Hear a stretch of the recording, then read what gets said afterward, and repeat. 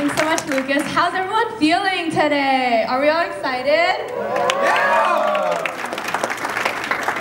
I hope everyone's just as excited to present all of their amazing pitches to us today as we are excited to hear all of them. So at Y2, again, as Lucas was saying, we really want to promote feedback and we want to be able to help these grow and to improve for the next time. So we're very fortunate and lucky to have five amazing judges who took the time out of their very busy schedules to volunteer, to provide feedback and to evaluate the pitches with us today. So I'd like to quickly introduce them before we get into the special guest presentations. Um, so first off, we have Karen. Welcome back, Karen. She is currently... Oh, She's currently the Director of Partner Engagement at Venture Lab, and she has her hand at entrepreneurship in the past as well, founding her own tech startup. And she's also received amazing awards such as Top 40 Under 40, wow, Queen's Diamond Jubilee, and also EY Entrepreneur of the Year. So again, welcome Karen.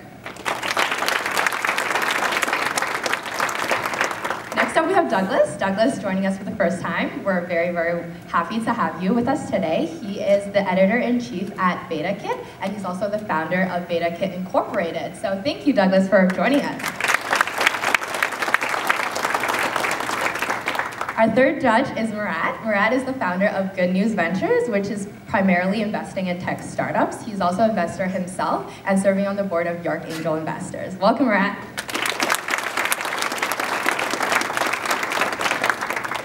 Awesome. So our fourth judge is Mike. Mike currently is the president at the advisory firm Castlegar Management with over 10 years of experience managing and working with tech startups. He's also an entrepreneur himself. And speaking of Venture Lab, he is the executive in residence there as well. So welcome, Mike.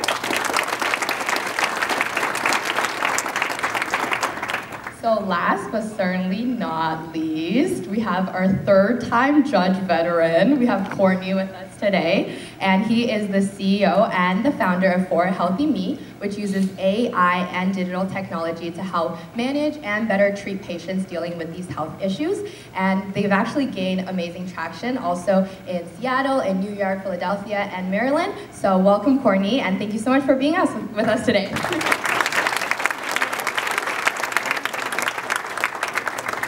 So once again, I wanted to say thank you to all five of our judges for taking the time to be here with us on a very busy Saturday afternoon. And now I'd like to bring up David. David is the current president at Seneca, and he's also had extensive experience with the nonprofit, the private, and the public sector, notably as the CFO of UNICEF Canada. Wow! And he's also received countless awards for his achievements and his dedication to the community. So obviously, like here at Y2, that's very evident because they've been with us as part of the journey from the very, very beginning. So again, what Lucas said, to expand upon that, none of us like would have expected Y2 to grown at such a rapid rate, and that's really thanks to Seneca and all their support. So we couldn't have done a lot of this without Seneca, and just thank you once again, and we're really, really grateful for your support. And I'd like to bring up David now to share more. But anyway, welcome. Uh, we're delighted to have you. Uh, we're delighted to have you here. And and uh, I mean, Lucas spoke about the, the kind of the ecosystem, and it really is a big system that, that works together to support all the fabulous work that you are doing and about to present to uh, us this afternoon, um, including right back into your schools and you know some of the teachers that uh, support you there. So let's not let's not forget those.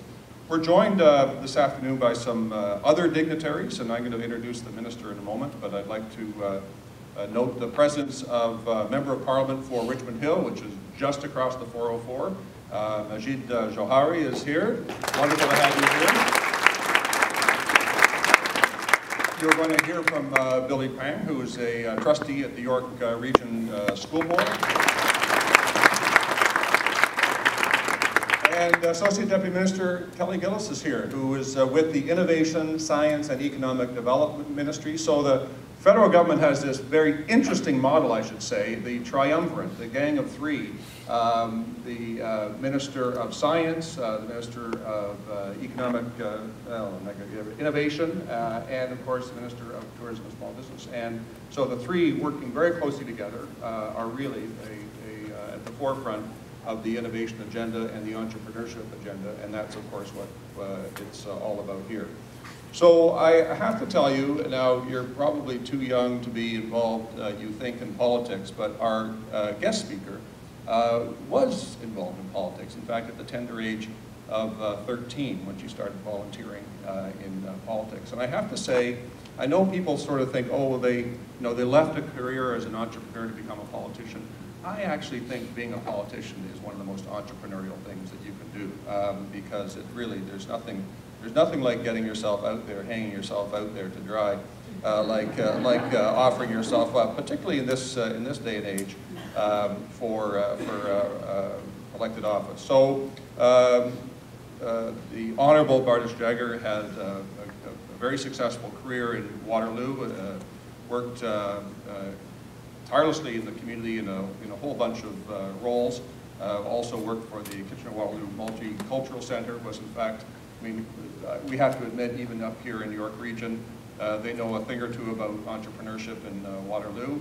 Um, and so it comes out of that, uh, that background. And then at, is one of that team of very young, accomplished politicians who our Prime Minister has appointed to cabinet uh, decided that she didn't have enough to do just being Minister of Small Business and Tourism, uh, and gave her as well the role of government house leader. And I, you know, it's not a it's not a huge necessarily public role, but it's an incredibly important role because it really is uh, the, the, quarterback, as it were, of the government's uh, legislative parliamentary agenda. So it's a it's a it's a huge role in addition to the uh, important one that she plays as uh, as a minister.